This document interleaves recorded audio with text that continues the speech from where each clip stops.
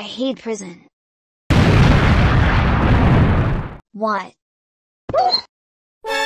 I will have my revenge. Oh no what is happening? No, Carnage why would you do this? The people around me get hurt because I am Spider Doge. Well I will be Spider Doge no more.